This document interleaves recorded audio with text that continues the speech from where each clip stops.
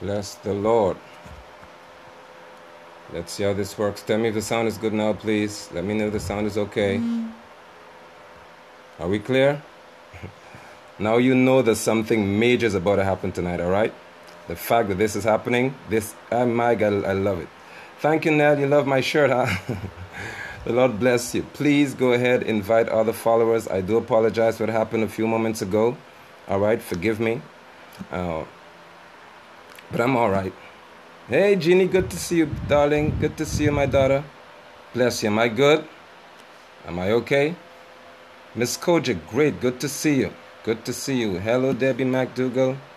Bless you. Please ensure you invite other people tonight because we are getting as deep as we can ever be. Good to see you, Mary, baby. Glory to God. Good to see you. Hello, to, good to see you. Good to see all of you. The Lord bless you. If you don't invite persons, you're new to this, you simply, if it's an Android device, you go from bottom up, swipe your finger up. It helps you, tells you to share the broadcast, you share with all of your followers. An Apple device, you go left to right, and it advises you to share as well. All right? Now, if you are the only person, you have no one to share with, but that's all right. Blessings to you, Evangelist Kisa. Good to see you. Good to see you. Are we ready? I've already saw the Lord, so Good night, Minister Marissa. Good to see you. Good, good. Thank you, Lord. We bless you. We bless you. We bless you. Grace and peace. Grace and peace.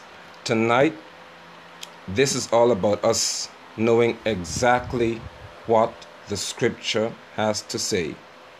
All right? Regarding this matter of divorce among the saints. It's important because persons have a, a difficulty, I realize, Mama Rosie, good to see you.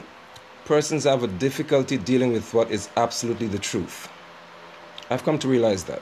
Persons have a great challenge, even in the church, in dealing with, with what is actually the truth. Okay? Uh, no, I'm not. Persons have a difficulty dealing with what is the truth. We're going to establish some parameters tonight. So as persons come in, some of you may be able to type to remind them of what those parameters are. One, we are sticking to the topic at hand. We are sticking to the topic at hand. The matter at hand is good night, uh, Sister Najina. Good to see you. The, the topic at hand is, is, on, is on the scope, it's right there. So before persons join, they have a chance to see what is written and what we're talking about. I'm speaking to those who say they are spirit filled believers. That's what we're talking about. We're dealing with those who are spirit filled who say they are by their confession. I am baptized with Holy Spirit, all of those uh, uh, terminologies, okay? Uh, we would stick to that. If someone comes and they are not prepared to stick to the matter at hand, they shall be a distraction to those of you who want to stick to the matter at hand.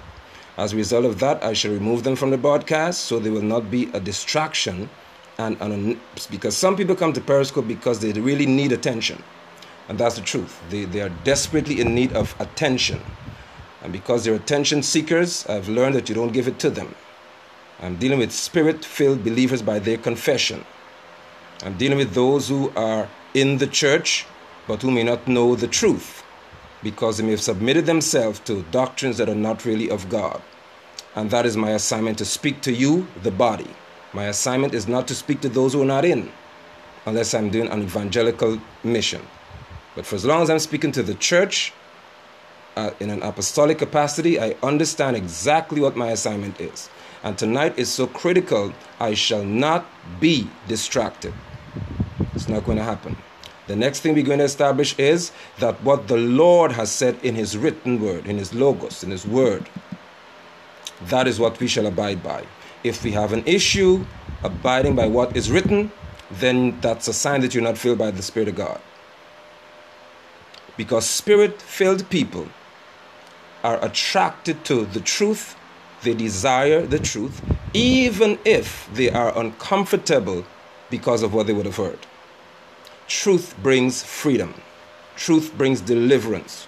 Truth will cause you to understand that this is the mind of the Lord regarding us, His people. If we have that agreement, we can begin to speak tonight. But I want it to be clear so I'm not going to be all around the place answering all manner of questions. Good. Let's do it. Malachi, Malachi chapter 2. Malachi chapter 2. This is a prophet writing. What amazes me is this. Let me begin by telling you this. Persons normally use, or most of what they know about the book of Malachi, this prophet, is bring ye all the tithe into the storehouse. That's all they know. That's the most they could talk about. Bring the tithe to the storehouse. How did a man rob God? You rob him in tithe and offering. That's the most that they know regarding Malachi. Am I freezing?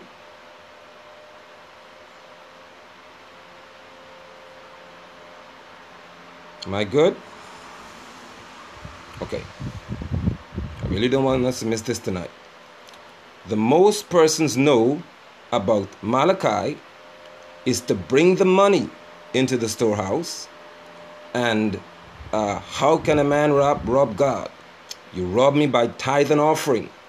That's as much as people know about Malachi. But Malachi said what I consider to be one of the most powerful statements about God's feelings towards divorce. This very prophet, who persons try to use to say, the Lord says that my, my, my vineyard, my figs will not, my, my grapevines will not lose uh, uh, its, its grapes and will not suffer, and he rebuked the devourer for my sake. And we pray all these things in Malachi. But when we are about to look now at what the Lord said to the same prophet, we are cautious. And sometimes persons don't like what he said, but it's the same God who said that your, your barns will always overflow and you'll have all these great things. And he rebuked the devourer for your sake is the very God that spoke to Malachi about marriage.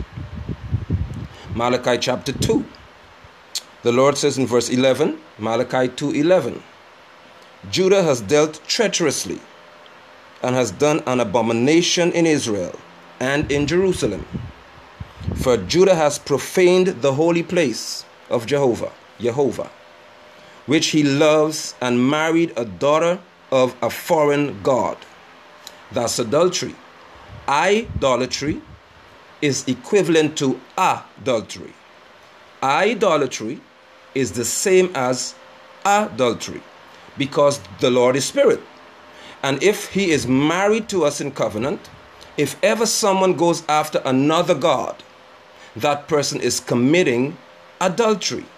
It's called idolatry, but it's tantamount or it's equivalent to adultery between a man and a woman.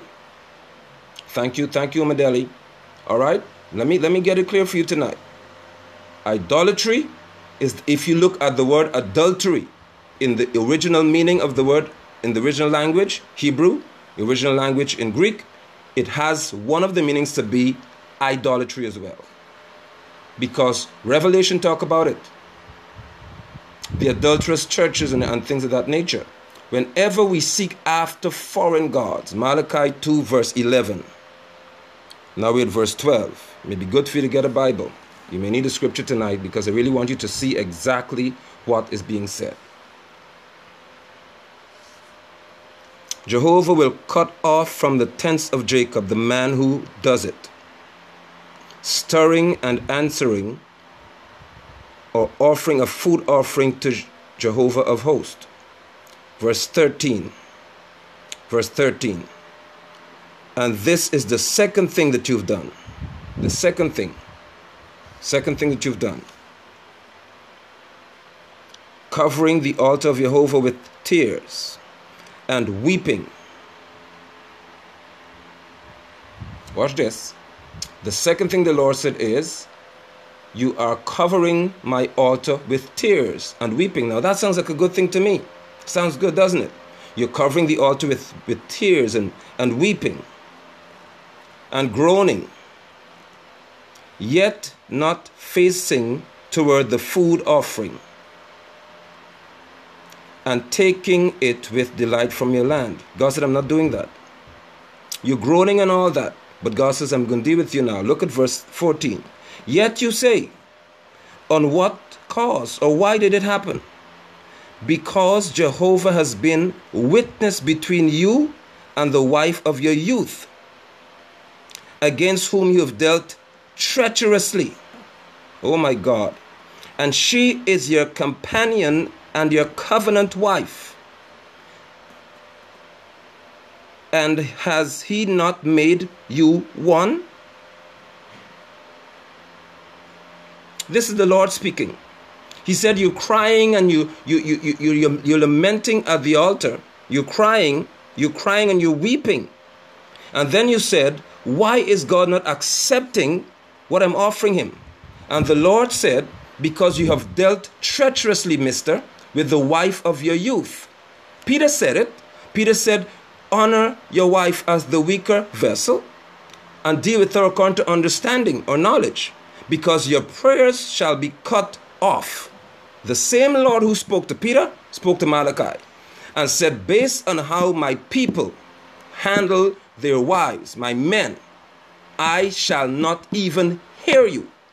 Now, Mr. Preacher, Mr. Prophet, Evangelist, all these different titles you have, Bishop, and all the rest of you out there, if you do not handle your wife according to godly standards, God says, I am not going to accept anything you offer me, neither will I even hear you. That's scripture. He said, I'm not impressed by your weeping and your groaning at the altar. That does not impress me. I'm dealing with how you handle your wife, the wife of your youth, your covenant wife. You promised her that you shall love her, you shall, you shall cherish, you shall be the man of her dreams, you shall take care of her. And now you saw somebody else. And because you committed adultery with that person, you now have you're treating your wife badly and want to go somewhere else. In the church, the Lord says, I am not going to hear you. So you could fast as much as you want to fast. You could pray as much as you want to pray. If you are not praying repentance and returning to your wife of your youth, God is not going to hear you. Therefore, you shall mount the pulpit and you shall preach messages that will be doctrines of devils, or you shall just be a vessel through whom God speaks to his people. But on that day, he will say, I have never known you. Depart from me, you worker of iniquity. Why? Because you've dealt treacherously with the wife of your youth. It is that serious tonight. You, as a man, let me speak to the men first in, in this broadcast. As a man, you are never supposed to take a young woman. Promise her that you're going to be faithful, you're going to love her, you're going to be a man in the church I'm talking about. I'm talking to the church. I'm speaking to the church. You're not supposed to do all of that. And after she comes in, giving your promises, you turn to somebody else because of your lustful ways. Then, hello, my brother Steve. Good to see you tonight. I hope you helped me out in this broadcast. It's going to get hot in a minute. You are not supposed to, never supposed to, as a man who claims to have the Spirit of God in you. You are never supposed to promise a woman take her to live with her, then go sleeping around the place with other people. After that, after that, you say, God said you must marry the other woman you committed adultery with. Why didn't God tell Israel, therefore, to marry the other gods? He said, I'm not going to hear you. I'm not going to receive any offering from you. Why? Because you've dealt treacherously with the wife of your youth. My brother Steve Branham, we are in Malachi chapter 2. The Lord is not confused indeed. He said, I've made you one. Yet the vestige of the Spirit is in him. And of what?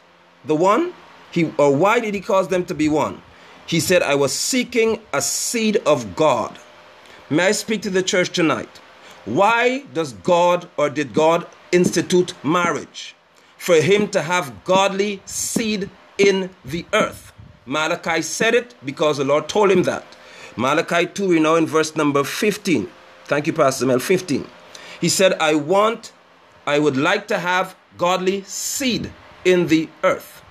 Therefore, for there to be godly seed in the earth, you must have a godly father and a godly mother because two good trees shall surely produce good fruit. That was the plan. Hence, and we get there in, in, in, the broadcast, hence in First Corinthians, Paul said, the sanctified one must sanctify the unsanctified one, or your children shall be called bastards. But they are not. The scripture says they are holy. Why? Because a parent who is sanctified.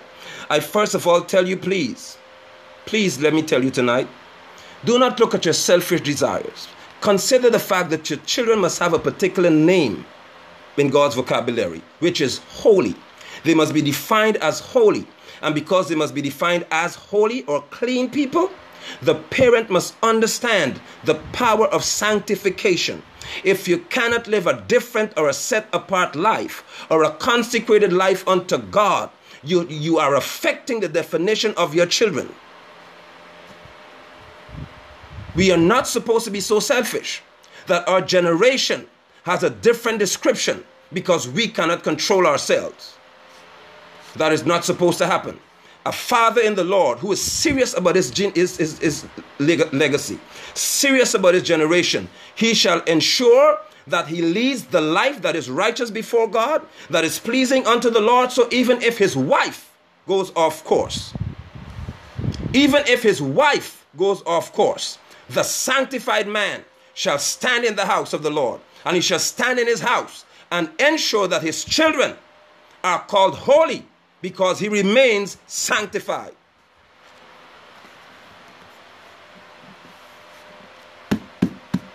Too many men in our churches are looking to the women to stand while they are hiding around, the, running all over the place, thinking that this is some game you're in and that God doesn't God spoke to the man in Malachi. He spoke to the husband in Malachi. He spoke to the man in Malachi. He said, You have to handle your wife correctly, or I'm not going to receive your offering. But where are the preachers who say that when you give God offerings to them, the Lord will do all these things for you? He will not ever do anything for you if you did treacherously with the wife of your youth. Verse number 16 Jehovah, the God of Israel, says he hates divorce.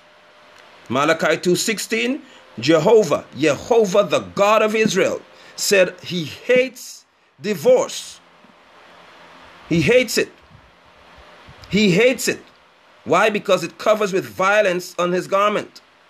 It covers a man with violence, says Jehovah of hosts. Then guard your spirit and do not act treacherously. You have wearied Jehovah with your words. Yet you say, In what way have I wearied him? Hear me carefully now. He said, When you say, when you say, every evildoer is good in the eyes of Jehovah, and he delights in them, or where is the God of justice? Whenever we call evil good, the Lord says, I'm wearied with your talking. If you cannot speak righteousness, God says, He will not. I'm not. I don't even want to hear you. You're wearying me because you're speaking all kinds of, of, of uh, empty words. They sound good, but there's no potency to them because we are calling what is evil good. The Lord does not delight. The Lord does not delight in his children walking away from each other. And I said it to you in the last broadcast that only adultery will sever the connection. Why? Because adultery is the same as idolatry in God's eyes. He said, Judah, you committed adultery. Now, Christ, Christ, Christ, our Master, the Lord, Yeshua was speaking to, his, to the people, asked him in Matthew chapter 19. Matthew 19. They said, Can a man put away his wife for any reason? He said, No, no, no, no, no. Have you not read? From the beginning it was not so, he made them male and female. Didn't you read that? He made them male and female. Didn't you read that? And he said, For this reason shall a man leave his mother and father and be joined to his wife. Hear me carefully, please. The two shall become one flesh. So they are no longer two but one flesh. Therefore, what God has joined together, let no man separate. Verse 7 Then they said to him, Did Moses say you could give somebody a bill of divorcement? And put her away, he said to them, In the view of your hard heartedness, because he was stubborn and hard hearted, Moses was permitted to do so. Moses allowed you to do it. That's what the Lord said. But from the beginning, it was not so. It was not so. And I say to you, whoever shall put away his wife, if not for fornication, see it again, see it again, which is sexual immorality, and shall marry another, the one commits adultery. And the one who marries her, who was put away, commits adultery. Now look at verse 10. Look at verse 10. His disciples said to him, If the case of a man be so with his wife, it is good not to marry. That's what the disciples said. But he said to them, Not all could receive this. Oh my God, everybody cannot receive this. He said, Everybody can't take that. For some are eunuchs who were born from the mother's womb, and others were made eunuchs for the gospel's sake. Oh, I want to look at this one here. He said, Who could, who is able to receive it, let him receive it. Do you hear me? Who is able to receive it, let him receive. Bless you, Brother Steve. That's confirmation. One spirit. Who could receive it, receive it. My question tonight is indeed, my brother, where are the kingdom eunuchs? Where are the people who could stand and say, Lord, I have been divorced, or my wife has left me, or I've never been married. I want to stand and I want to show the world that you are a keeper. Where are you? Why do we sing what we cannot live? Why? Why do we utter from our lips that the Lord is all we need and we can't live that?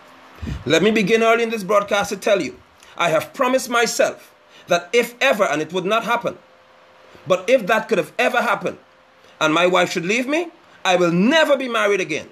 So since you if you attempted to ask me the question, I've answered you tonight. If my wife is to ever let the, the enemy get in her head and, and she walks away from me, I will never marry again. Not as long as she lives. Why? Because I've been taken to a place with my Father, the Lord Almighty, that no woman in this world could ever, if my wife leaves me, get my attention. I'll commit my life, and you have this, I put this on YouTube, it will be there forever. I'll commit my life it's hard. It's very hard, my brother Steve. I commit my life to showing that the Lord is able to keep me as I preach His gospel. Why must I have His Spirit who keeps me from everything, but I'm incapable of being kept under control? If my wife leaves me and goes to marry another man, I'm not going to marry another woman. My desire is to stand as a vessel who is different. That's what the word holy means. And I'll show you why in the broadcast in a few minutes. I'll show you why in the broadcast. Somebody get it already. Yeshua said, Whoever could receive this, receive it. You know why he said that? Because everyone cannot receive that. Everyone cannot receive that. Oh my cut to the oh my God, my brother is on. Bless you, my brother LeBron. Blessings on you. His book, please find it tonight on Amazon. It's free. Get it. Get the book, uh, uh, uh, Prophetic Prophet's Notes. Get it, please. My husband left me for another woman. He did. God didn't leave you. The Lord shall never leave you. The Lord shall never leave you. The Lord shall never leave you. Never leave you. The Lord said, Whoever could receive it, receive it. Thank you, Brother Steve. Please, uh, uh, Brother LeBron, Prophet LeBron, please, please ensure you get that book. All right, I've downloaded it today already. Now, let me go to the scripture at hand. First Corinthians chapter 7. If you don't understand this, this, this text, let me help you to understand the function of the disciples or the apostle. The Lord, the Lord was speaking to his twelve apostles, and he said, Whom do men say that I am? Who do men say that I, the Son of Man, am. 1 Corinthians 7. And we know what happened. Then Peter said, Thou art the Christ, the Son of the living God. Yeshua said, Flesh and blood did not reveal this to you. This was revealed by my Father who's in heaven. Watch this carefully. Then he said, I will give you the keys of the kingdom. He said, Whatever you bind on earth, I'll read it in the original language for you, shall be, having been bound in heaven Whatever you loose on earth shall be, having already been loosed in heaven. Hear me carefully here. The word bind is not about binding demons. You don't bind demons, you cast them out. The word bind in, in scripture means it means this to declare something to be legal or illegal. Bind means surrender something to be illegal. He said to the 12 apostles, You have the authority because you know the mind of heaven to say this is not right for the church. Therefore, therefore, therefore, Paul begins 1 Corinthians 7 by saying Paul is an apostle. Watch what he said. Watch what he said. Now, concerning the things that you wrote to me, that's what Paul said. Why did they write to Paul? Because they know the function of the apostle. They had a question. In the book of Acts, the same thing happened. Men were saying that you have to be circumcised to be saved. The apostle Paul again was on the scene and he, he contended with them strongly. Strongly. Strongly. Paul and Barnabas, they were mad at them. Then what did they say? They said, Go to the elders and the other apostles, not your friends. Go to the elders and the other apostles, and they will tell us what to do regarding this matter. Peter wrote to them. James wrote to them. Peter said, You are Jews and you can't even keep the law yourselves. Leave the Gentiles alone. Just stay away from sexual immorality and from the blood. And from blood. The apostles brought the question to an end. If wife goes out, why should believing husband suffer? I shall elaborate. A believing husband never suffers. If a wife goes out, if my wife goes out to another man, I don't suffer. The Lord, His Spirit is in me. If His Spirit is not enough for me, I have a problem. And I'll elaborate in a minute if, if you stay on. So the Apostle Paul had the authority to speak to the church regarding marriage. And he began to speak to them. He said, You wrote to me. You wrote to me. That's correct. Bind says this is legal. Loose means to say you're free from something that would have held you in captivity. For example, the daughter of Abraham was entitled to be healed. Yeshua said, You bent over for 18 years, be loosed from your infirmity. Loose. Be loose from it. He never said loose from the demon. Be free of that infirmity. Because you're a child of Abraham. Why are you suffering? Your right is to be healed. Every time Yeshua dealt with a demon, he said, Come out of. Come out of. Come out of. Not I bind you, not I bind you and I loose you. And, no, come out of. In my name they will cast out devils, not bind them. Whatever you try to bind, you keep. Let's get doctrine straight tonight. The Apostle Paul said, The Apostle Paul said, You wrote to me, and I shall respond to your question. He said, It is good for a man to not even touch a woman. The same thing Yeshua said, because Paul knows that marriage is a serious thing. You don't play with this. He knew that if you enter this marriage and you are not prepared to be consecrated and disciplined, you'll walk away easily. And when you walk away, he knows that as far as God is concerned, you're bound. If you say he is child, that is. If you're not his child, then do whatever you want to do. I'm speaking to his children tonight. You don't enter this playing games. You don't enter because somebody is pretty or somebody is a good ministry asset to you. She could preach like you so till you get married. Don't do that. Never marry someone because they are good for ministry alone. Ministry is out there. When you get in the house, what happens? Some women could preach well, but they never give their husbands a, a sexual pleasure. Always have a headache. Always sick. Never want to make love to their husband. Got all kinds of crazy rules. I'm gonna deal with y'all tonight. I, I told you that were the men first let me talk to you ladies in this Periscope broadcast. You didn't get married for your husband to, to be sexually uh, uh, uh, starved. How could you be full of the Holy Ghost and can't make love to your husband? You need deliverance, man.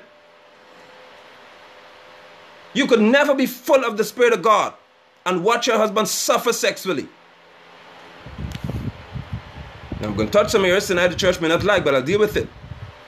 You are never supposed to be full of the Spirit of Yeshua and refuse to deal with your husband. Men, I'll deal with you too. I'm coming down your street now, so don't say amen too quickly here. I have said to my wife, now please hear me.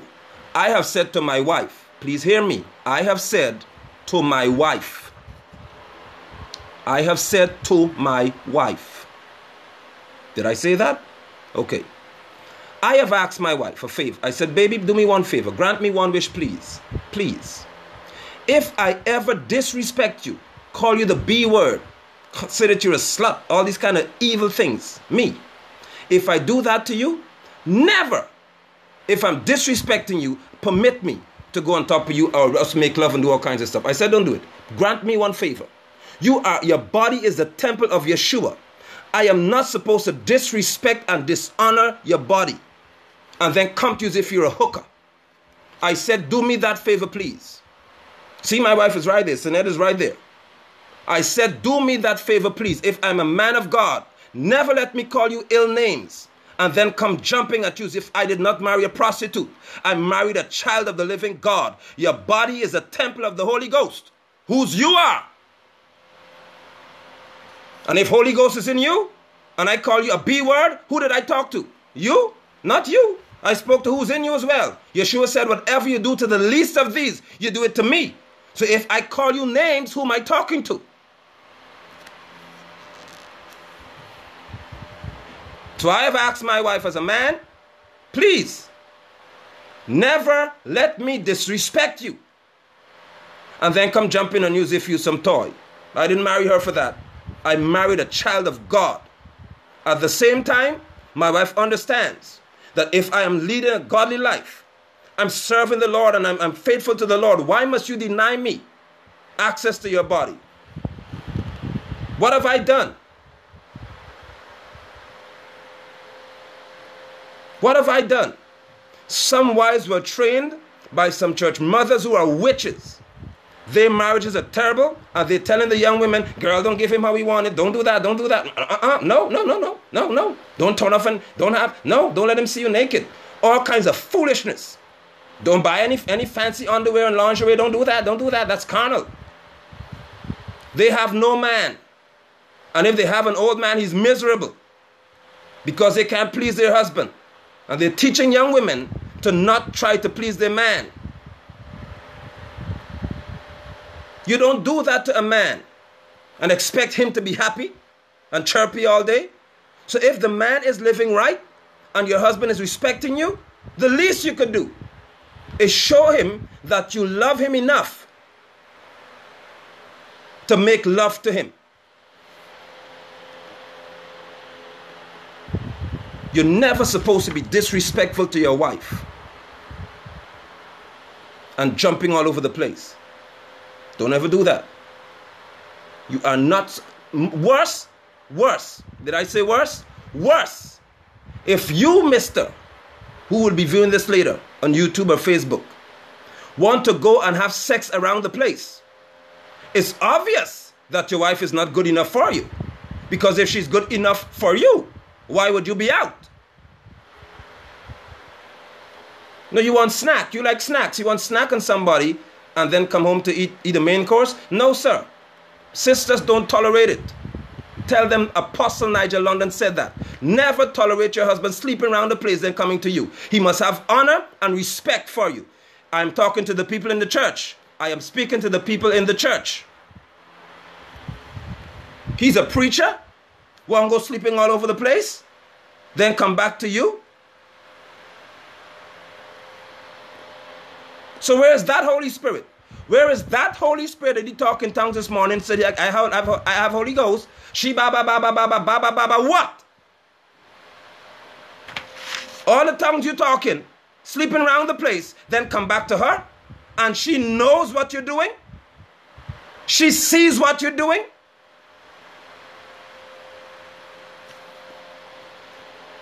Then you go quoting scripture that your body does not belong to you. Read the whole of 1 Corinthians 7. He didn't just say that. At the end of it, he said, Your body is the temple of the Lord. Read the whole book.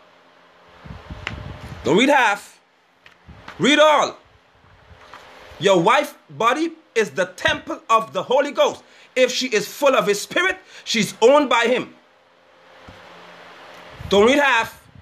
Too many of you preach quarter. You have no right to be having sex. Oh, you with sleeping people the, on the, the singer you sleep with, sleeping a dancer in the church. You listen here. Oh God, keep my tongue. In the church, you're doing all manner of foolishness. Then go home and say, wives, sub-, right here, see it? RC uh, Bangaru, yeah. Wives submit. They're committing adultery all around the place and tell the wife, submit to me. Give me sex when I want it. No, you go get it where you've been having it. Because if you don't want if you want it here, you shall respect God's temple here.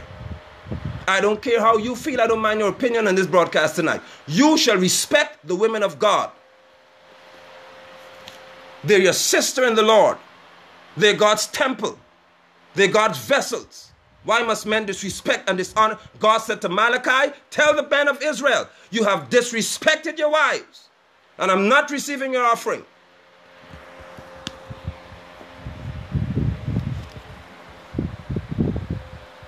That's who she is, uh, uh, Prophet LeBron.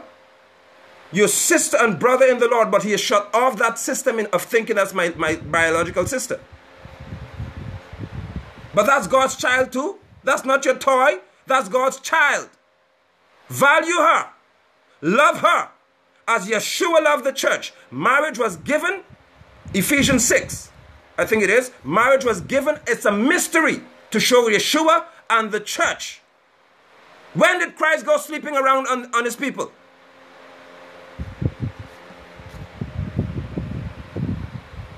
Marriage is mysterious because it shows Yeshua and the church.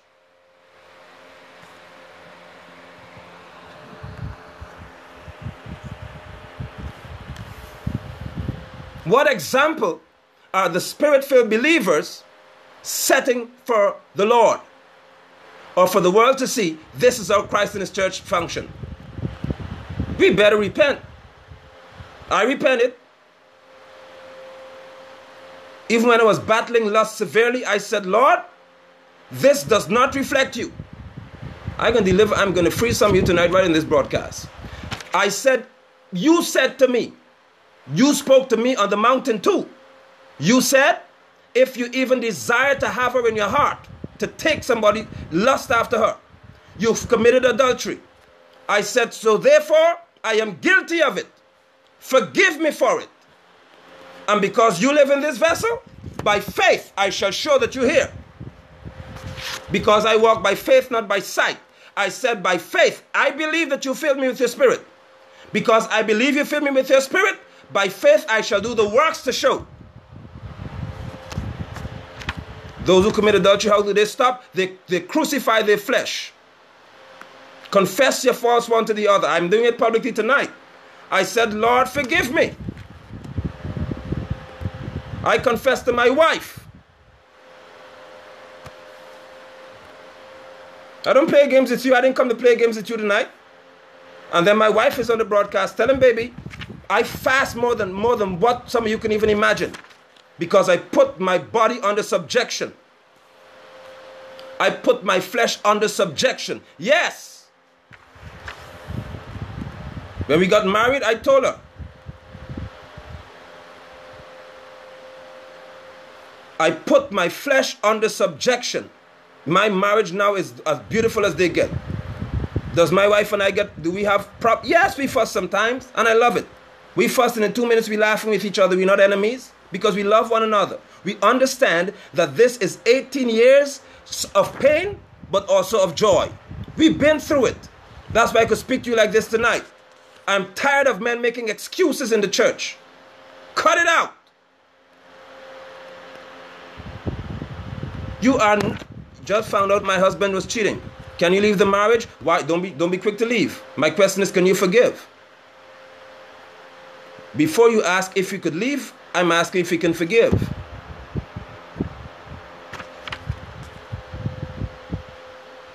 If your husband prefer pornography, I say it again, I'm talking to those who are in the church.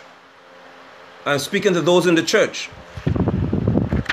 How many times a day did the Lord say you should forgive?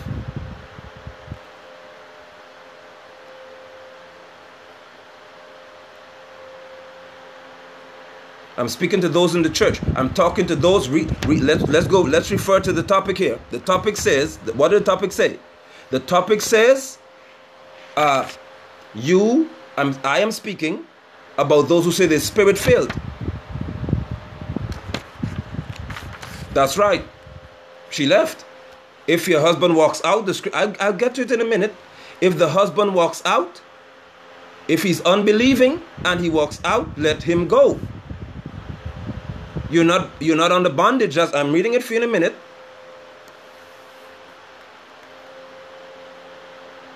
We'll get to if you leave him, what happens. So Paul said, I'm I'm I'm I'm Paul said, I'm writing to you, it's good to not touch a woman. But because of fornication, because of what? Because of fornication. Because of what? Because of fornication, which is sexual immorality. In the church, let every man have his own wife. Now, I need to give you some history of Corinth here, because if you understand the history of Corinth, you'll understand why Paul wrote this. The Corinthian saints had some crazy thought that those who were spirit filled and those who were gifted, they felt that they could sleep with the person, have sex, and they'll gain the gift. So Paul said, this, cut this out. Every man must have his wife. 1 Corinthians 7. The Corinthian saints were crazy. They were okay. Let me help you. When Paul wrote the letter to the Corinthian church, you know what he said to them? I cannot speak to you as spiritual. Most people didn't read that.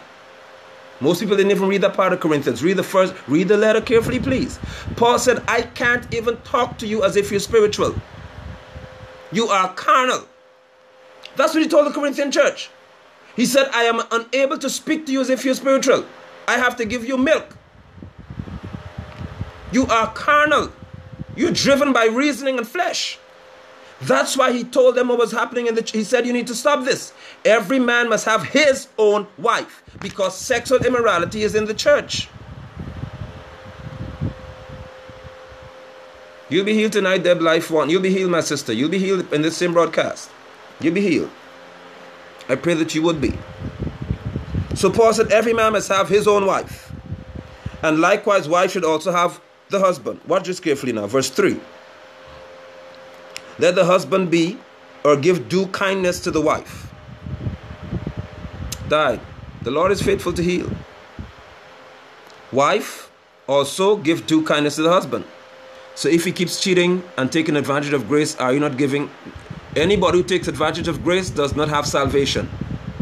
May I say that to you again? Anyone who takes Hebrews chapter 10, if we willingly sin after we've come to the knowledge of the truth, verse 26, there remains a greater judgment, more terrible judgment than even in the days of the law. He said, For in the days of the law, you were stoned to death by the witness of two or three.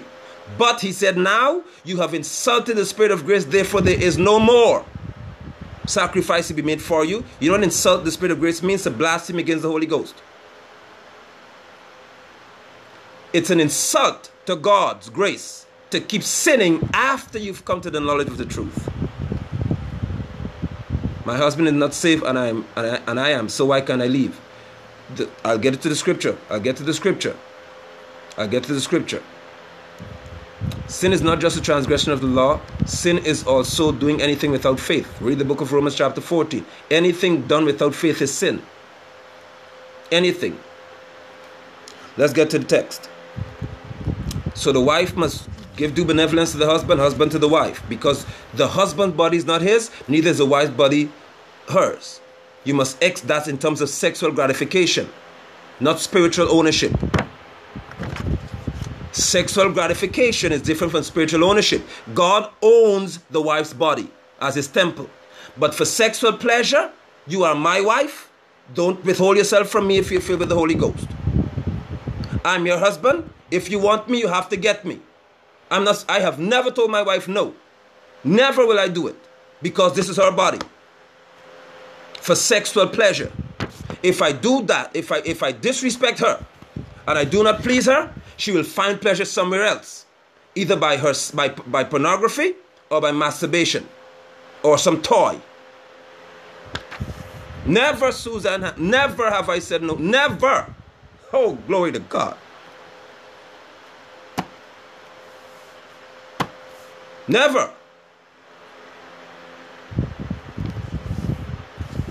Hello. PD, good to see you. Good to see you. Let's pray for Fatima Muhammad, 25. Let's pray for that sister. I pray for you tonight that the Lord is going to really help you. All right? Some of you, some persons got involved in arranged marriages and their husbands are, are, are doing some terrible stuff. The Lord is going to help you. All right? Isaac from Vancouver, good to see you. Bless you. All right, let's talk about the book now. Watch this carefully here. Watch this carefully. Do not deprive one another. Do not deprive each other. You should not do that. That's a scriptural instruction. Do not deprive one another. Unless by agreement for a time. All right? I am from a country called Guyana in South America. Brazil is my neighbor, so is Venezuela. For a time. By agreement. I know a pastor that was always cheating on his wife, and his wife forgive that. A pastor? He needs to be saved. He's lost and he's a hypocrite. A pastor continuing to cheat on his wife.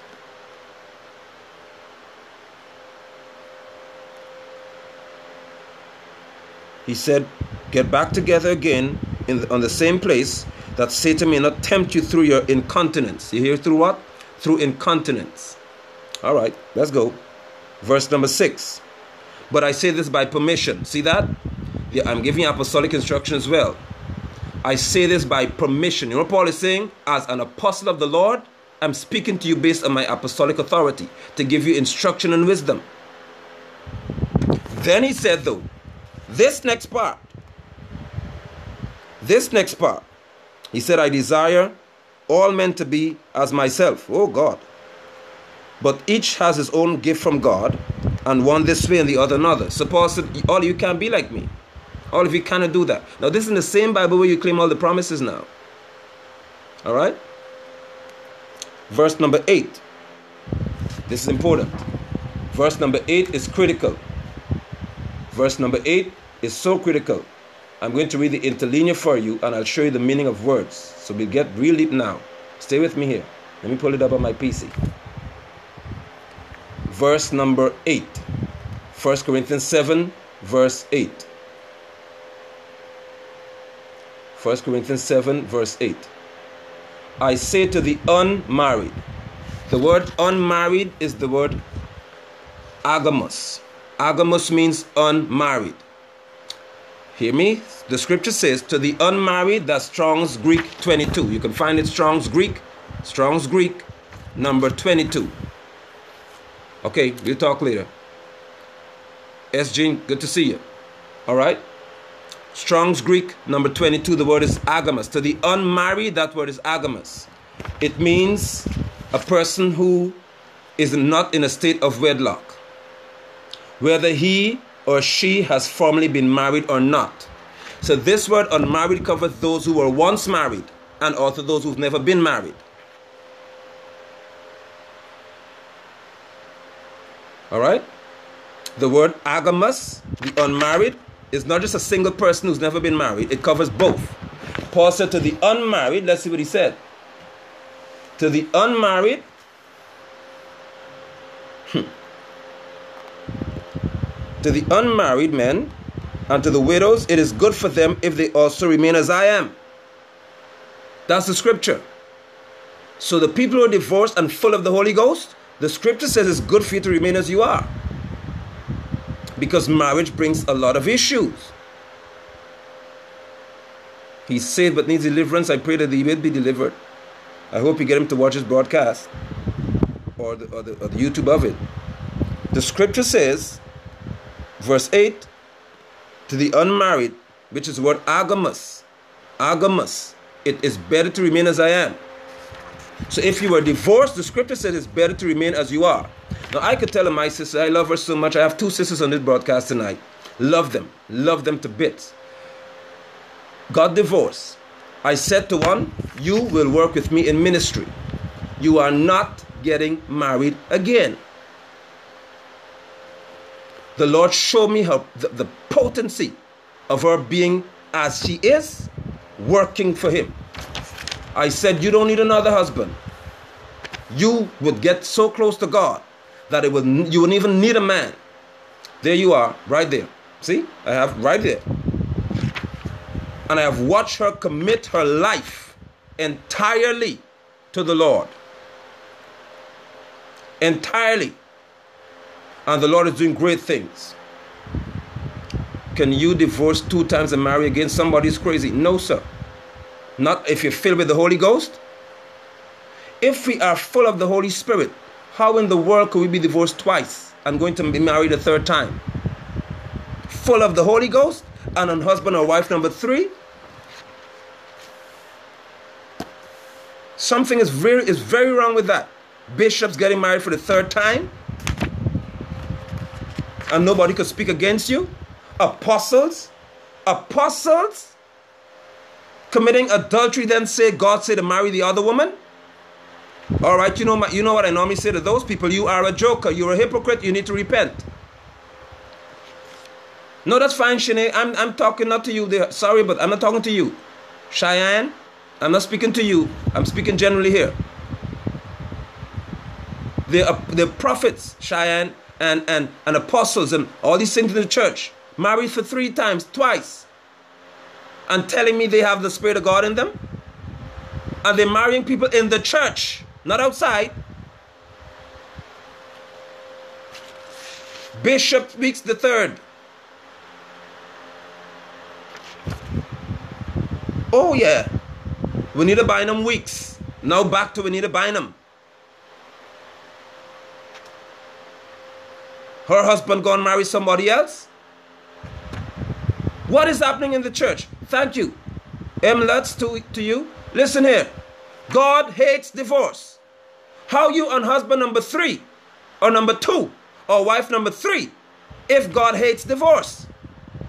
And they are all in the church. Well, what they call the church. I, I'm really not intending to follow these people.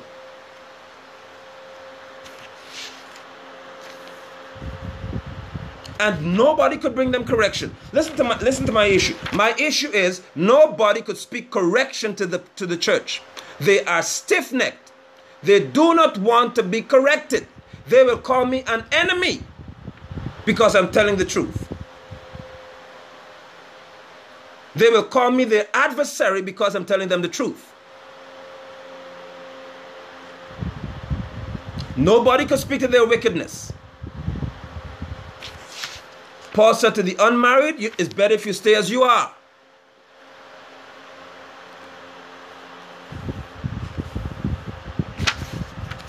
That's right, they're walking in unrepentant sin. Glory to God. Thank you. That's correct. Because they're arrogant and because they're carnal, they can't have one woman. And they will cheat again if they have a chance. I'm saying that to you as cold as ever. They have no self control. They are stubborn. Then they want to preach that the members should obey them. You can't obey God. Why should they obey you? But I'm going to warn some of you sit in those congregations. The Lord said, the Lord said, the Lord said, the Pharisees, they sit in the seat of Moses, Matthew 23. Do what they say because they tell you what the law said. But don't you dare do what they do. Some of these people, if they tell you God loves you, yes, He loved me. But don't follow their behavior. Do not follow their behavior because the Pharisee spirit, they sit in the seat of Moses. They know, ex- they know exactly what the Lord says, but they could never do what the Lord has said. They're perverted indeed, filled with lust. There you are filled with lust. Paul said it's better to stay as you are. All right, so let's see what happened next. He said, and if, verse 9 of 1 Corinthians 7, if moreover not they have, oh God, let's look at, let's, let, let, let, let's look, let's look, let's look at chapter 7, verse 9 of 1 Corinthians. But if they do not have self control, oh my God, let them marry so the ones who are unmarried, the ones who are unmarried, un- remember what agamos means. You could have not been married before, or you married, or you or you're divorced. He said, for the lack of self-control, let them marry. For it's better to marry than to burn with lust. Now I will I will I will talk to you right here. And I may have to close right here. Listen to the statement, uh, Periscope viewers. It is better to marry because they have no self control. Brother Steve, you got it. You got it. You have it. You've got it. Galatians 5 says, The fruit of the Spirit is love, joy, peace, kindness, goodness, meekness, temperance, patience, self control. If the press, the scripture said, if they have no self control, get married. You know why? Because you're not filled with the Holy Ghost. That is why they'll be fighting to be married again. Because they have no self control. And if they have no self control, they don't have the fruit of the Holy Ghost. These people have no Holy Spirit in them. They are religious and they are stubborn. It is impossible to have the Holy Ghost fill you up, envelope you, take you all over, and then you say, I have no control, I have to get married. If ever you have to get married, you have no self control because you tasted marriage before. So, Mr. Apostle, since your wife went and found some other man, you have self control. You show self control and you do not go getting married. Show the world that you're full of Holy Ghost. If you're not full of Holy Ghost, then admit it. I don't have Holy Spirit. And I could live with that because you're honest. But do not come to me telling me. You have a lot of questions. Uh, Kim Harrison, find me on Facebook at Nigel London. Look at my uh, my description on, on, on this scope, and you can ask me any question privately. All right? My wife and I'll be happy to talk to you, even to call you and to speak with you. All right? The scripture says, the script, I'm not like a child. When you enter the kingdom of God, you're a babe in Christ. Then you grow up to a mature person. You enter the kingdom as a babe in Christ. Then you grow up into maturity. The scripture does not only speak to babes, he said, as babes desire the sincere milk of the word, milk that you may grow. But then Paul said, I can't give you the Corinthian church milk, meat. I could give you milk because you, you are too childish. When will we grow up? An apostle is not a babe in Christ. A prophet is not a babe in Christ. Evangelist, pastor, or teacher are not babes in Christ. Everyone is not there yet. That's good. I'm talking to those who are there, who say they're apostles and want to marry five times. Paul said, when I was a child, which means I didn't have information. The word child means lack information.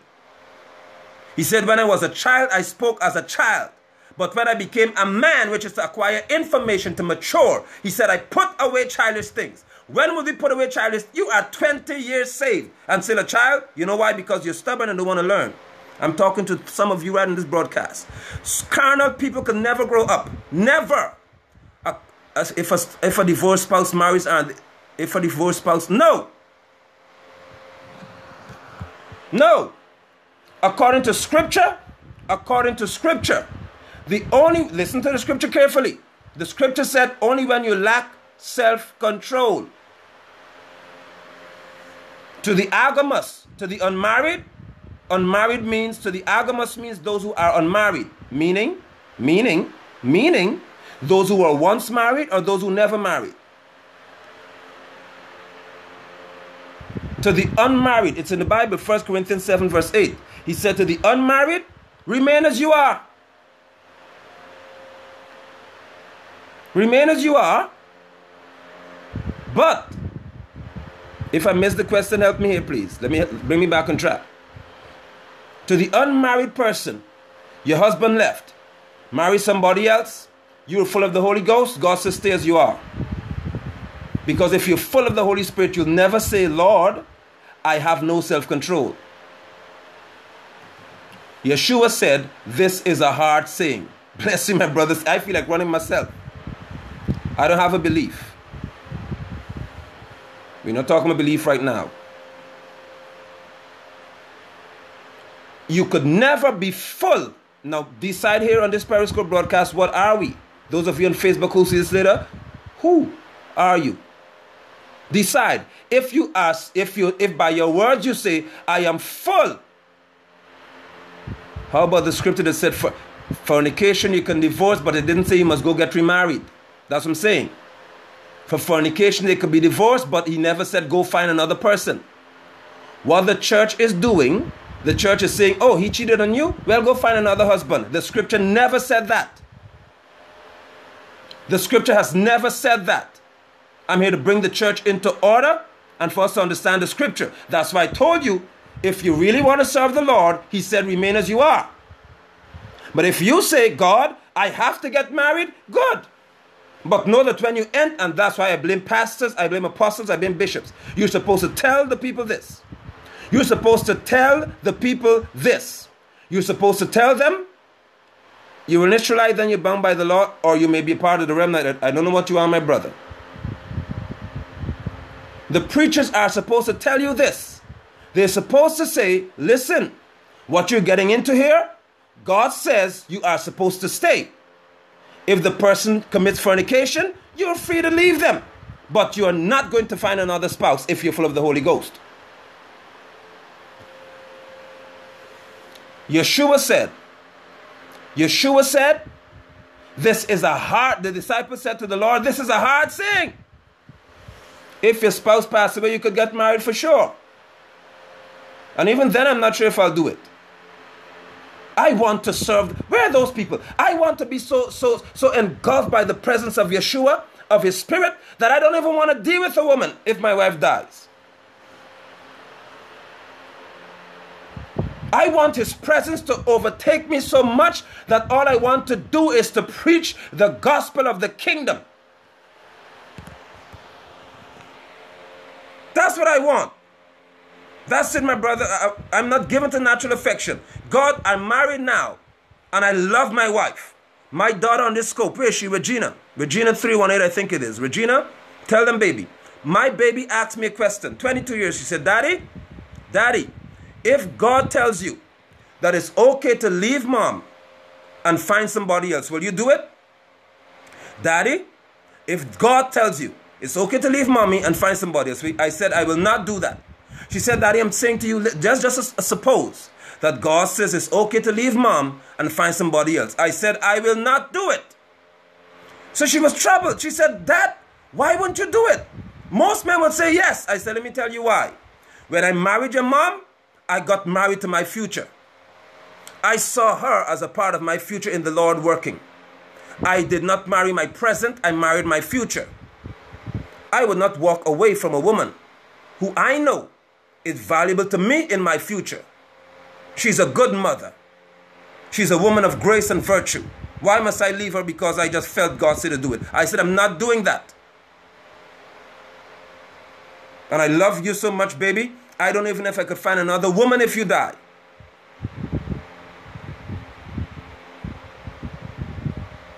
See, right here. I don't have time to play with you and and play games with you all tonight. No, she was just saying suppose. Cindy Blackman, she was just saying suppose. All right? God, God cannot, I never said divorce is the sin. Now, y'all don't miss the text. You see how people want to get stubborn and say, well, okay, then God could forgive me if I'm divorced? Hello. I'm saying to you, if you say you are full of the Holy Ghost, you are not supposed to leave your spouse and marry somebody else. Or your spouse, even if they leave you, you're not supposed to go marrying somebody else. The scripture never said to do that. That's all I'm saying. Because the scripture said it. Now, what would we believe? The scripture, how we feel. Let me tell you what happens to people. I see it a lot on Periscope. If they do not agree with it, they think God did not say it. If they are, watch this. I hope you don't miss this statement tonight. The Lord said to me last night, He said, Nigel, most of the people you know in the church deal with me by experience, not obedience. In other words, if they have experienced something that was, let's say I'm divorced, they'll try to fit me into their reasoning and say, you know what? It's okay for me to leave my wife because after all I did it and God didn't, God didn't kill me, so it's fine. They don't want to obey what he said. What they want to do is say, since I had the experience of divorce, then okay, I'm free to be remarried because God will forgive me. That's called blatant sinning. That's disrespect for God. I'm speaking to, yes, I'm speaking to those who say they're filled with the Spirit. Those who say they're filled with the Spirit, I'm talking to you.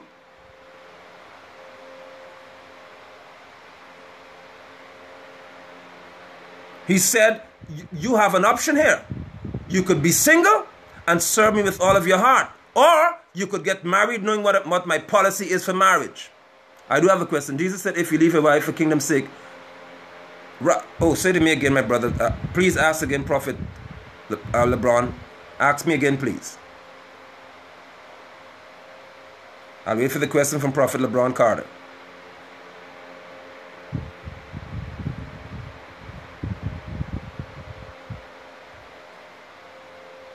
You can bring the question again for me, please, Prophet.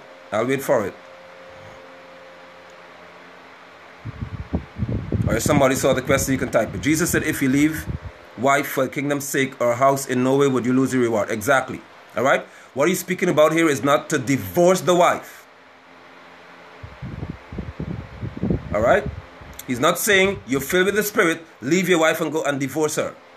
That, that's fine, my brother. I know the question, but I'm, I'm addressing it. He, what he's saying is this you have got, some people have got a call on their life. For example, the Lord may say, uh, uh, LeBron, uh, go go to, to Africa, my son, or go to China, or go to uh, somewhere else and preach the gospel. He's saying like Peter did. Remember, Peter was was an apostle. Peter was an apostle who was married, and Peter traveled extensively with the Lord.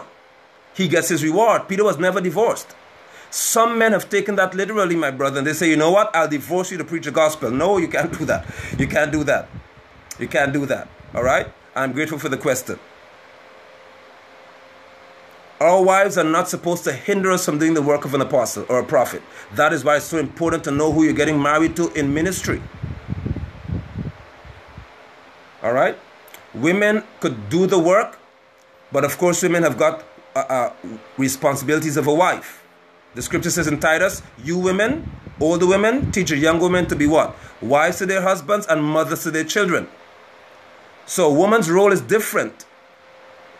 But her husband could be understanding to say, okay, you go do the work and I'll help you with the children, but don't go doing extensively whereby you leave your children undone. Or go as a family. Our children are homeschooled. Why? Because I have said they will travel with me wherever I go. Therefore, my family is always together with me. All right? God does not make mistakes. If the Lord says a wife must be there for her husband, that's what he meant.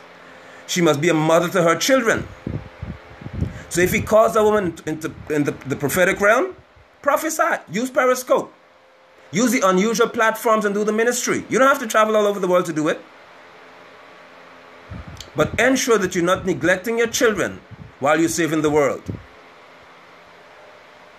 We are not supposed to neglect our family to save. I will never neglect my family to save the world.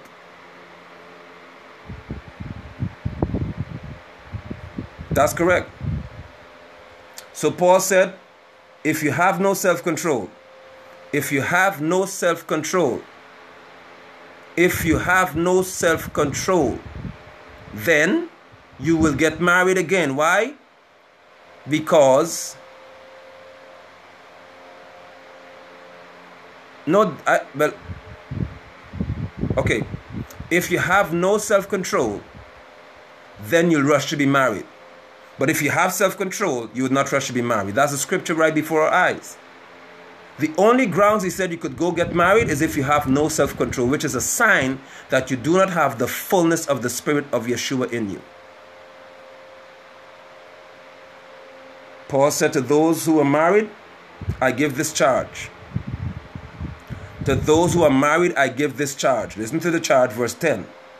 Do not leave your spouse. Oh, help us, Holy Ghost.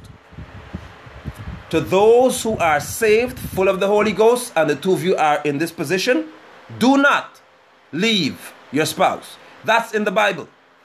That's in the scripture. 1 Corinthians 7, verse 10. 1 Corinthians 7, verse 10. Put it up for me, please. 1 Corinthians 7, 10. To those of you who married, do not leave your spouse. Why? Because you already addressed the flesh issue. Then he's going to talk about the unbeliever and the believer. I'm speaking to two believers here who say they're both full of the Holy Ghost. If both of you are full of the Holy Ghost by your words, you said that you're full, you're not permitted to leave each other. Therefore, Therefore, he said, That's it, Brother Steve, not I. but the Lord command you. Paul said, It's not my apostolic judgment being used here. This is not my idea being given to you. This is not how I feel as an apostle. This is the Lord telling me to tell you too, who full of the Holy Ghost, you are not permitted to leave each other. You're not permitted. Deb life found us. All right, let's let's bring let's bring let's bring it down, y'all. All right, let's bring it down, y'all. Let us not lose focus here. Let's bring it down so we wouldn't miss the we wouldn't miss the message. Umadeli 679, let's bring it down so we wouldn't miss the message. All right? The Lord has said to tell you. The Lord has said to tell you. If two of you are saying that you are full of his spirit, do not leave each other. Period. Period. Period. But, Apostle, what if? What if nothing? If you have said that you are both full of the Holy Ghost, do not leave each other. This is going to be the test now. Because if you insist on leaving, one person insists on leaving, you don't have the Holy Ghost. You're a liar.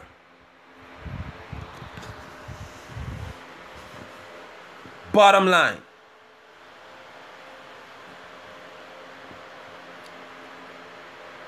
If you cannot contain, you have no self control. How do we handle the violence? if the person is violent, they have no Holy Ghost. I'm just, I'm just telling you that. I just said it to you again. What if one spouse says they're full of the Holy Ghost, they're hypocritical? Hypocritical, Debbie McDougall. Hypocritical. Abuse, not full of the Holy Ghost. Hypocritical. Bring the questions now. Hypocritical. The law says if two of you are married and full of the Holy Ghost, one of you is a hypocrite because you will never be divorced. So marriage will make you know the fruit. Some of you got married to a form, not a fruit. They put on a good show for you in church, and because you felt the show was good, you got married, but you saw the fruit later. Hypocrite. And if you wonder if your spouse is truthful, you you decide. You decide tonight, God, I'm going to crucify my flesh and I'm going to pray and fast unto you and seek you. See how quickly you see the flesh act up in your spouse. They will show you who they are. They have a form of godliness but no power. Thank you so much. Paul said, The Lord, you know the Lord is? Your owner, your boss. Your owner said, You are not to leave. If your spouse becomes violent, leave. Go somewhere else because they're going to hurt you. She's supposed to go away from the environment. I didn't say divorce, I said to leave. Go away from that environment. I'm going to make this very clear in Periscope tonight. Any man or woman who is abusing their spouse does not have the Spirit of God in them. Let me say that first of all.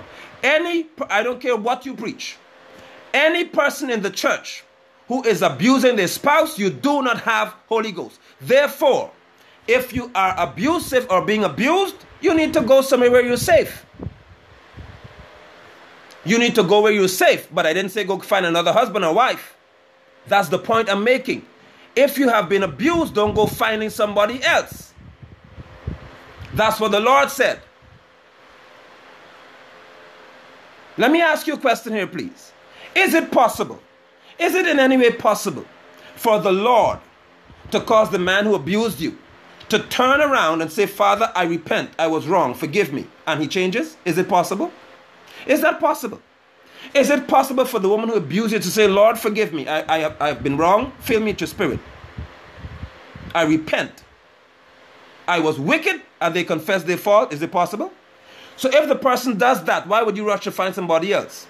When they come back to you they really filled with the Holy Ghost now, for real. Not, not playing. When they come back to you, you already got another man because you couldn't wait. What kind of spirit is that?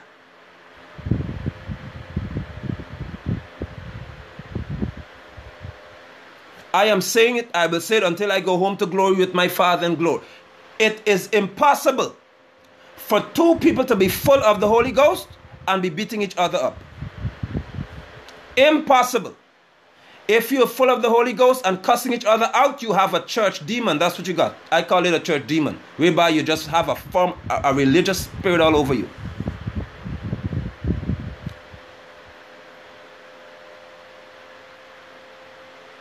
Full of religion.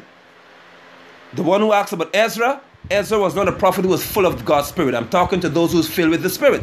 The Spirit of the Lord, when He fills people, there is nobody who I know from Scripture who is full of the Spirit and beats their wife and walks away. Not one of them. If you name one tonight, I'll never preach again. Name one disciple, name one prophet who was full of the Spirit, committing adultery and beating their wife. God told Israel, exactly. God said, Israel, I'm going to send you into persecution because you're adulterous, but I'll still take you back. God says, Tell them, I will put you in exile for a while, but I'll take you back though. Read Isaiah 66. He said, I'm going to take you back. I'll take you back. Read Revelation chapter 20. I'll fight for you in the end, but I'll deal with your flesh. It is impossible for two people to be full of the Holy Ghost and be divorced. It is impossible. I didn't say it's difficult. It is impossible for both of you to be genuinely filled with the Holy Ghost and, and, and beat each other up and cuss you out. You are a hypocrite if that's what you did. I don't care. I don't mind what title you have in the church. It is impossible. And if you get divorced, and you're full of the Holy Ghost, you will not want to go marrying again. You want to do what God said, which is to preach the gospel or to serve in the kingdom. If you're forced into divorce, uh, Lutz, it means your spouse was not filled with the Holy Ghost. Somebody was empty. Somebody was empty. Somebody was empty. Somebody was empty. Somebody was lying. That's what I came to tell you tonight in Periscope. That's what I came to tell you. That's what I came to tell you. Adulterous women got put away whom? I don't think people are reading correctly what I said or hearing me carefully. I said two people who are full of the Holy Ghost will not be divorced. God never told Ezra to tell the men put away people who are godly, serving him in spirit and in truth. Let's read the Bible, please. The Lord is not confused. He told his disciples, You, in Matthew 5, you've heard it said that if a woman commits adultery, you could put away your wife. He said, But to you I say, I'm talking to those of you who say you have Holy Ghost. But to you I say, but to you I say, who say you have the Holy Ghost inside of you, you are not to put away your spouse if both of you have him. But to you I say, Matthew 5, he said, You've heard it said, but to you I say, full of the Holy Ghost? You. Now let me clarify this and get off this Periscope broadcast. Yeshua, when he spoke to his disciples about marriage, they were not full of the Holy Ghost. Now this is deep stuff right here. When he told his disciples, when Peter, when the disciple says, Lord, this is a hard thing in Matthew 19, they were not baptized in the Holy Ghost. So it was hard for them to receive it. But when Peter became full of the Holy Ghost, Peter said, Husbands, deal with your wife properly. What changes language?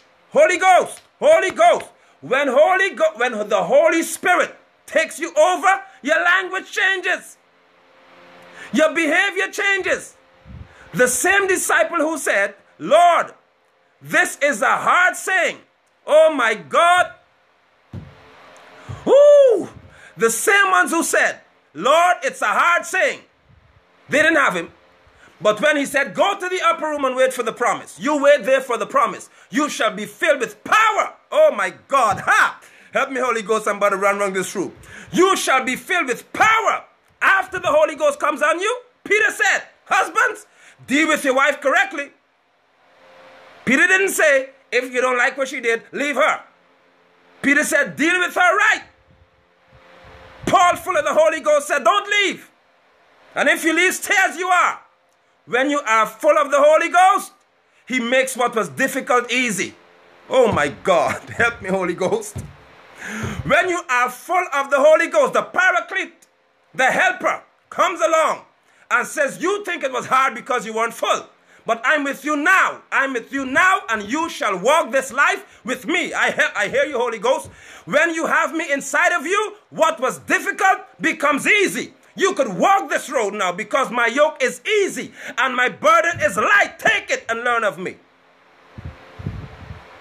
When you're full of the Holy Ghost, you want to do what pleases the Lord. Hallelujah. You full of the Holy Ghost and won't get married as soon as your husband goes away. You don't have any Holy Ghost. You got a babbling spirit called tongues. Baba, baba, baba. That's Babel spirit. Babbling. No tongues. Babbling. If we're full of the Holy Ghost for real, we will never, never rush to find somebody else. Go to the other woman. I hope he hears Angela Green. He may hear it. You never know. God is God is amazing now. God may lead him to hear this. When you have the Holy Ghost, that's right. Holy Spirit will say, okay, then you feel you, you feel pressure. Remember what I told you. The fruit of my spirit is oh glory to God. Holy Ghost.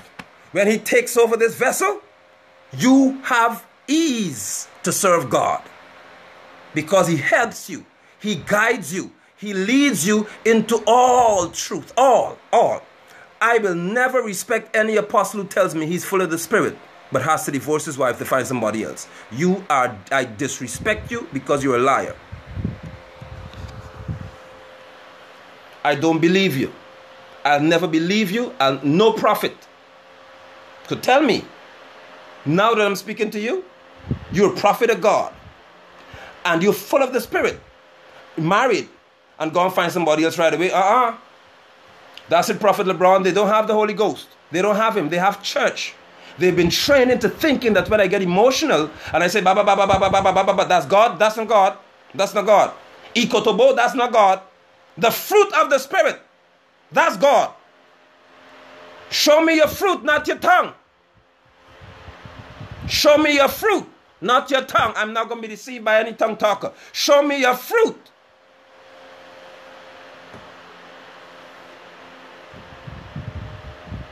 Bless you, bless you, uh, uh, Fatima. Show me your fruit. That's it. Show me tongues. Tongues don't move me in church because I don't know what you said. I don't know what you're saying, but you speak to me in English. Talking in tongues and cussing in English. Talking in tongues and cussing in English. You're a hypocrite. Let me say it to you again. Talking in tongues and cussing in English. You are a hypocrite. You got a Holy Guest, not Holy Ghost. Split tongue, that's a snake. Help me tonight, Lord, to preach this message. When the Holy Ghost has come upon you, he shall give you power. Dunamis will come upon you.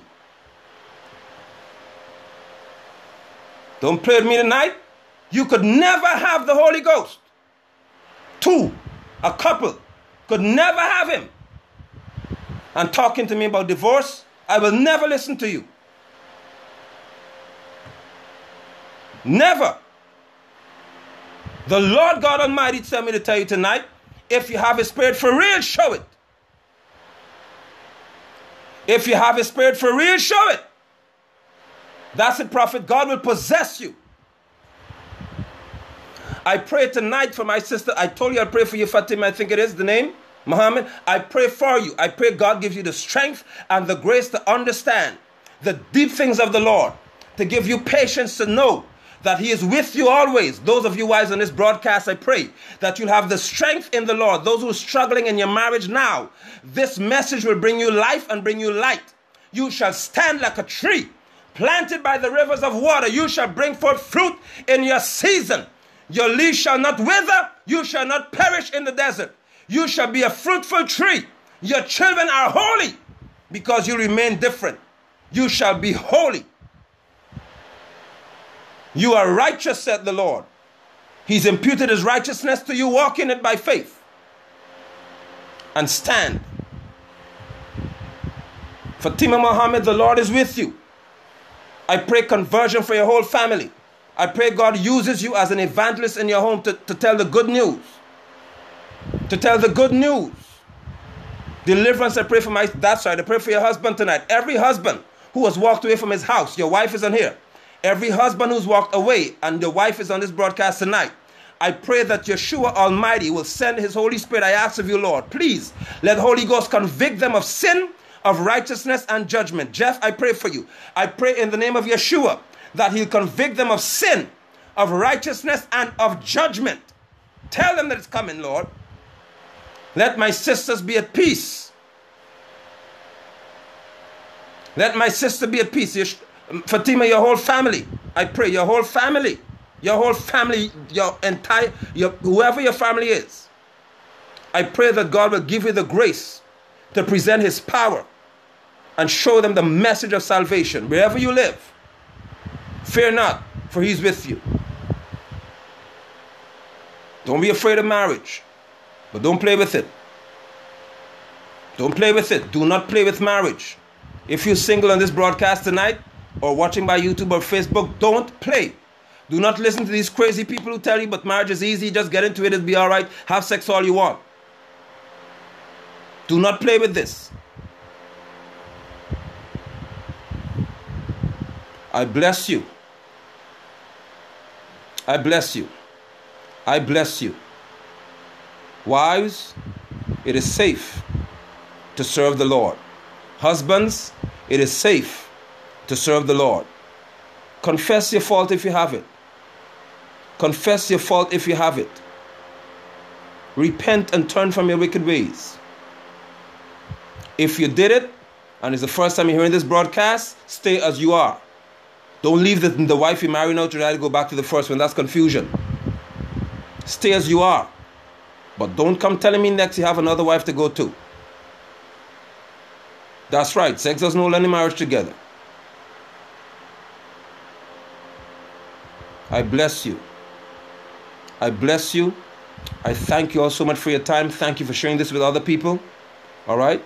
I thank you. Now remember on Friday night, God willing, on Friday night, same time at 9 o'clock, I'll be on for us to talk again. Friday at 9 o'clock, save it. If you haven't added me, please do so. Or, or if you're led to do so, let us talk some more about this. Because we need to hear the mind of God about this here. And don't play games with people's lives. I love all of you. I bless the Lord for you and I thank you so much for being here. All right? Girlfriend, our pain is being productive. All right? No, that's fine, Deb Life. That's all right. I love you, Deb Life. Thank you. God bless you. All right? We could go up and we could come down. It's all right. The fruit of the Spirit is self control. As long as you, could, you can control yourself, you're good. All right? Blessings on you. Bless you. Let's remember Friday came from Seattle. Blessings on you. Good to see you. All right. I love you. May the Lord keep you. May the Lord cause you to be strong. Core Ministries International. Stay strong in the Lord. All right. Bless you. Born again Christian. Wonderful. You're my you're my my my, bonds uh, uh my co-laborer then. Brethren in the Lord. Love y'all. Noella, blessings on you. Love you, love you, love you. Goodbye and God bless you. All right. See you on Friday at 9 o'clock. Don't forget, let's make that date and keep it. Love y'all. Bye. Blessings. Thank you so much, Angelic Green. I'm praying for you. It is well. It is well. God will give you the grace to stand. Blessings. Blessings. Bless you, Nell. Love you. Love you. Blessings on y'all. Bye, Lorraine. Bye. Love y'all. Bye, Debbie. Love you. Blessings, Sister Babs, Pastor Bob. Bless you, Evangelist. Bye now. I'm out. Blessings. Miss Kojic, bless you. Bye.